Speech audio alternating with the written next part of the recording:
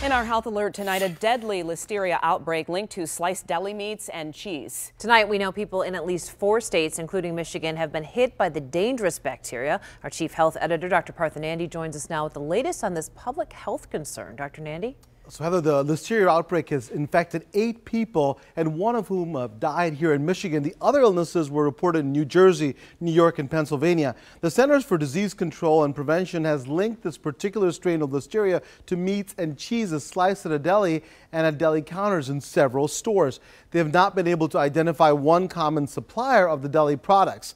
Now, the listeria bacteria causes the foodborne illness known as listeriosis. The symptoms include fever, diarrhea, headache, confusion, loss of balance, and convulsions or seizures. It's really important to note that these symptoms usually show up anywhere from one to four weeks after eating contaminated food.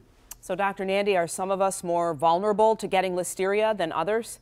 So Glenda, the, the folks at most risk of getting sick are pregnant women and their newborns, seniors aged 65 and older, and those with a weakened immune system. Anyone in these groups should, be, should avoid eating deli meats unless they're heated to an internal temperature of 165 degrees or until steaming hot just before serving. That's important. So what else can you do to reduce the likelihood of getting infected?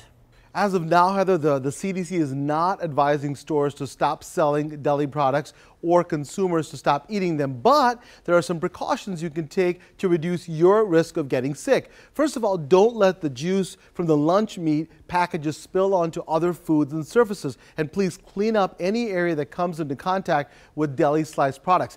Secondly, as I always say, please wash your hands after touching lunch meats and hot dogs and only hang on to open packages of deli slice for three to five days. All right, Dr. Nandi, thank you. That's great advice. If you have a question or health concern for the good doctor, email him at drnandi at askdrnandi.com or send it to us on Facebook or Twitter. We'll get it right to him. And don't forget to tune in this Saturday to an all-new Dr. Nandi show. He'll be discussing the effects of Parkinson's on the body, how successful deep brain stimulation is, and if physical fitness and dance therapy can improve symptoms. That's this Saturday at 1 p.m.